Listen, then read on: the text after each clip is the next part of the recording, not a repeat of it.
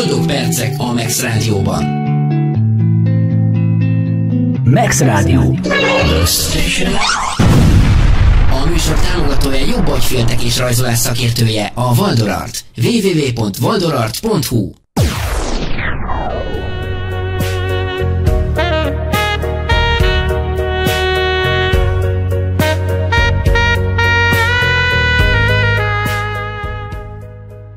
Kedves Max Rádió hallgatók, ismét boldog percek itt a Max Rádióban. A mai vendégünk ismételten a Valdorat képviseletében Dologi Andrea. Szia Andi!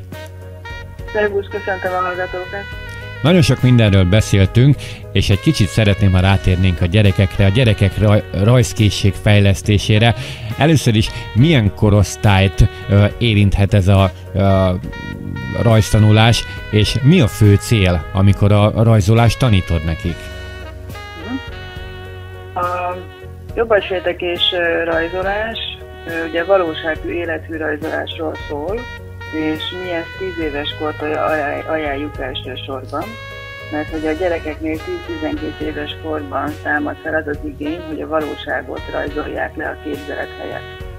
Uh-huh. De ez nem jelenti azt, hogy 10 éves kor alatt ne lehetne a gyerekeket rajzolni, tanítani, csak hogy nem a jobb és rajzolás módszerével lehet, ne, kell őket tanítani, hanem teljesen más módszerekkel. Uh-huh. Nálunk például egy éves kortól lehet online oktatóanyag segítségével a legkisebbek rajzkészségét fejleszteni. Most lehet, hogy neked is és a hallgatók is így felkapják a fejüket, hogy minek kell egy egyévest rajzolni, tanítani.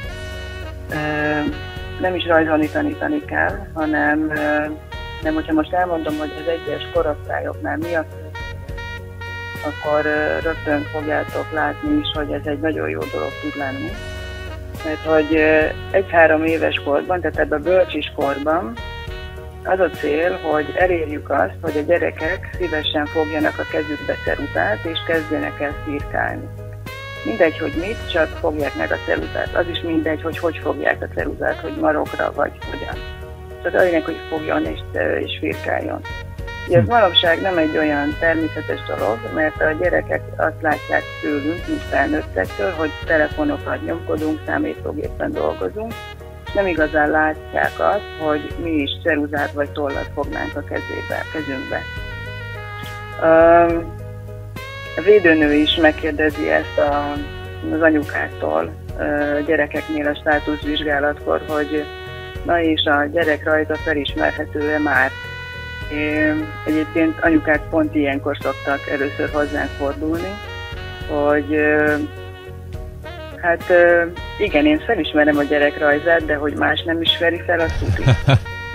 Igen, az jutott eszembe, Andi, hogy van két unokahúgom, 9-10 évesek, és a kisebbiknél a nyomát nem látjuk annak, hogy ő akarna rajzolni, de ez már évek óta így van, viszont a nagyobbik meg egymás után nyeri a rajzversenyeket, és imád rajzolni, és szerintem a ti esetetekben mind a két unokahugom például egy potenciális rajztanuló lehet, csak mind a kettő más miatt, jól gondolom? Igen, igen. Az egyik őjük azért, mert már nagyon jól tud rajzolni, vagy uh-huh. szépen tud rajzolni, és lehetne fejleszteni a rajzkészségét még tovább. A másik ójuknak meg pont azért, mert még nem fogadja el kezébe ceruzát, és hogy hogyan ö, ébresztük rá ennek a rajzolásnak a szeretetére. Igen. És ugye az egy-három éves korban ugye ez a cél az, hogy fogjanak kezébe ceruzát, hogy hogyan érjük el ezt, hát úgy, hogy mi szülők rajzolunk neki pár vonalból egyszerűen gyorsan felismerhető figurákat, az ő kedvenc állatait, a falkas, a nyuszit, a csigabigát, bármit, amit ő szeret.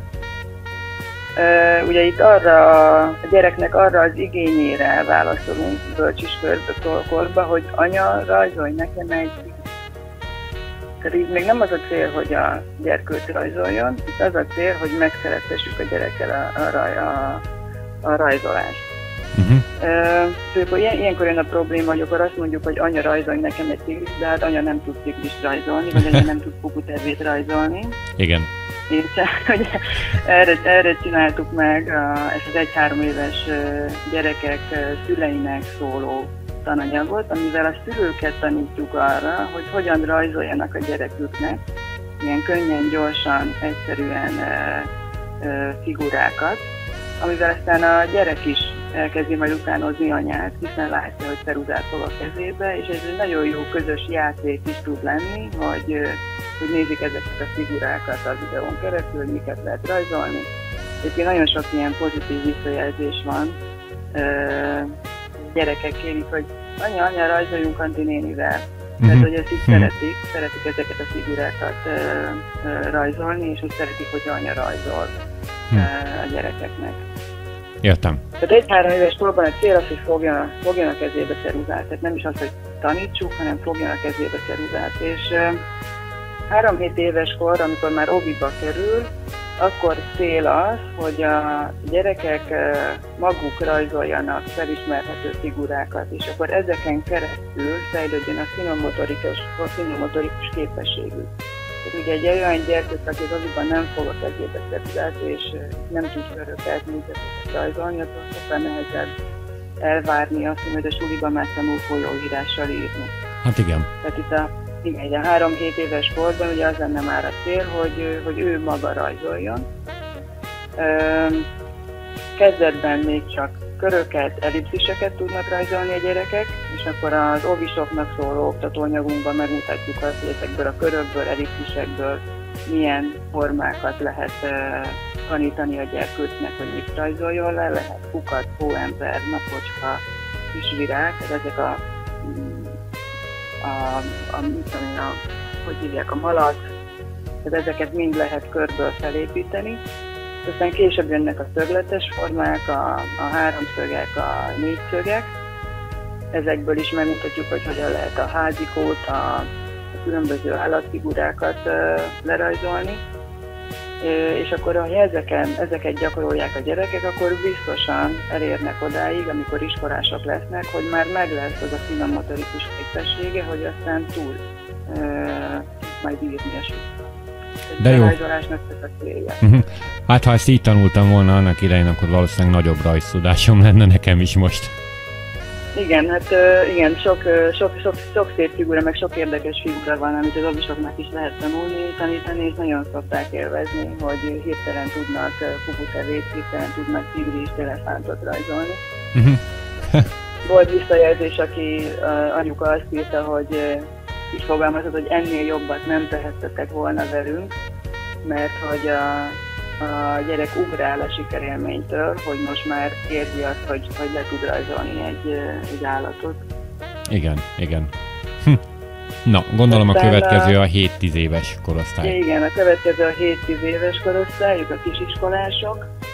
És itt a rajzolásnál a, a cél az mindig nem az, hogy most nem tudom milyen rajz tehetséget varázsoljunk belőle, hanem az, hogy a kisgyerekek tanuljanak figyelni itt a cél a figyelemfejlesztése. Itt most már megvan az a finom motorikus képesség, hogy tudja fogni a ceruzát, tudja kanyarítani a betűket, ugye rajzoláshoz igazából ennél többre nincs is szükség, mint az, hogy a finom motorikus képessége meglegyen. Itt a figyelemfejlesztés a cél, méghozzá másoláson keresztül.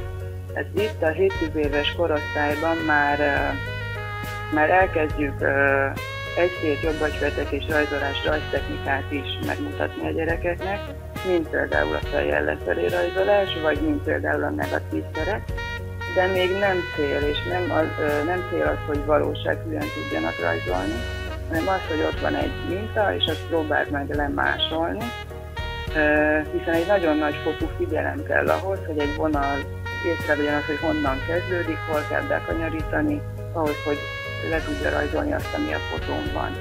Itt a figyelem a cél. Aztán 10 éves kor fölött jutunk el odáig, hogy, hogy akkor most már élethűen, valósághűen tudjam lerajzolni azt, amit, azt, amit látok.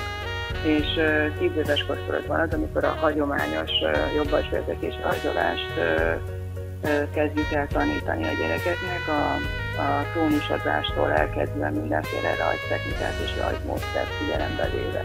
Hm. Nagyon érdekes dolgok ezek. Andi, gondolom, hogy a hallgatóknak is lennének majd kérdései, csak előtte még annyit szerettem volna mondani, hogy az elmúlt hetekben nagyon sokat beszélgettünk itt, és szeretném megköszönni neked azt, hogy, hogy egy kicsit felvilágosítottál nem csak engem, hanem a hallgatókat is arról, hogy hogyan is működnek ezek a ö, dolgok. Nekem ez egy kicsit kínai volt előtte, gondolom észrevetted.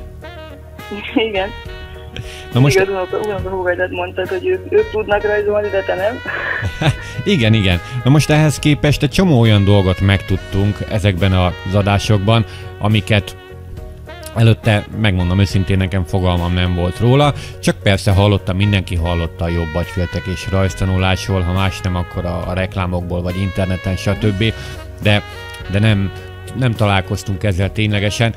Na, visszatérve szerintem rengeteg kérdése van a, a hallgatóknak. Kedves hallgatók, a következő adásban Dologi Andrea a Valdorat képviseletében válaszolni fog a hallgatói kérdésekre. Ha bármilyen kérdésetek van, akkor írjátok meg nekünk akár a Facebookon, akár chatünkön, akár e-mailben a maxkukacmaxmedia.hu e-mail címre. Ezeket a kérdéseket mi összeszedjük, és a következő adásban Andi fog válaszolni ezekre a kérdésekre. Viszont ha szeretnétek bővebb információt, akkor Andit megkérem, hogy mondja el, hogy hol találtok bővebb infókat. Van egy honlapunk a valdorart.hu,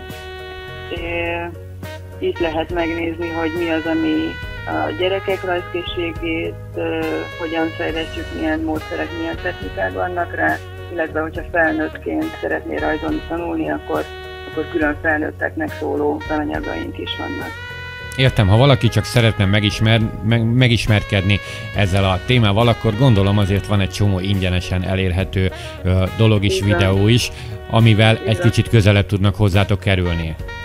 Igen, hét ingyenes online tanfolyamunk van, hét téma közül tudnak választani a, a, az érdeklődők vannak rajzolással kapcsolatos témák, vannak a gyerekek rajzkészségével kapcsolatos témák, festéssel, pasztelkrétával, vagy ha egyszerűen csak arra kíváncsi valaki, hogy hogyan tud ebbe a kicsit meditatív tudatállapotba bekerülni, akkor találnak egy ingyenes videót arról, hogy hogyan tudod a két agyféltekétet összehangoltan működni, tehát hogy nem is a rajz része érdekel, hanem ez a, ez a másképp képessége, akkor erre is találnak uh, ingyenes anyagokat, és ki tudják próbálni a módszert. De jó, na, nagyon örülök neki, hogy ezt itt kitaláltátok, és tényleg vannak ilyen elérhető dolgaitok, mert hogy akkor tényleg közelebb tud kerülni a kedves hallgató is ezekhez a dolgokhoz, és azért valljuk be, nem kerül egy fillérébe se. Aki aztán bővebben szeretne, az pedig tudja akkor, hogyha szakértőt szeretne, akkor nem biztos, hogy a, az internetes, már beszéltünk róla, akciós rajztan folyamokat kell, hogy válassza, hanem inkább olyat, aki tényleg ért hozzá. Remélem nem mondtam rosszat. Oké, okay. kedves Max Radio hallgatók, az elmúlt percekben ismét a Valdoraszt képviseletében Dologi Andrát hallottátok. Legközelebb jönnek a kérdések és jönnek a válaszok. Andi készülj föl nagyon. nagyon szépen köszönöm, hogy itt voltál és a rendelkezésünkre álltál. Köszönöm én is. Szia! Szervusz,